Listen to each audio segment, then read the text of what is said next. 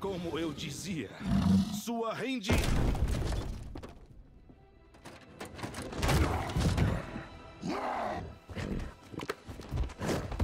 Que tal ficarmos com um empate?